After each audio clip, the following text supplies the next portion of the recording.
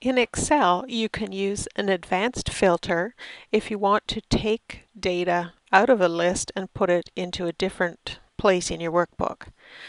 In this example, we have a list of orders and we'd like to pull the top orders out of the list. So our criteria here has the same heading total as we have in the main table and we've put in the criteria of greater than 1500 so only the orders that are greater than that amount will be pulled out of this table. We would like the data to end up on a different worksheet. So here's our orders sheet and we would like to pull the information onto the top orders sheet. We only want the date and customer from that table, so those are the only headings I've put here, which is where we'll extract the data.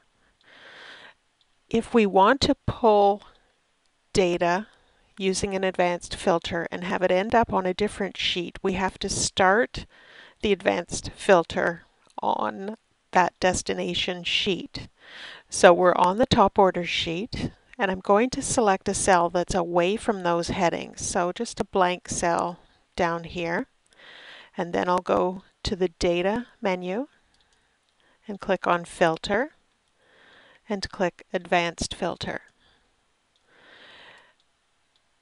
We want to copy to another location and then I'm going to select the list range. So I'll go back to the order sheet and just select the entire table. The criteria range, I'll go back to orders and just select those two cells. And copy to, I want to use these two headings on the top order sheet. I'll click OK. And you can see the three orders that we had that were over $1,500.